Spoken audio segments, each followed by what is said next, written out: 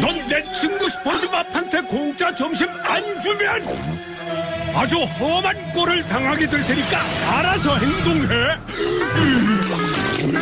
베스, 너 정말 말도 안 되는 행동을 하는구나.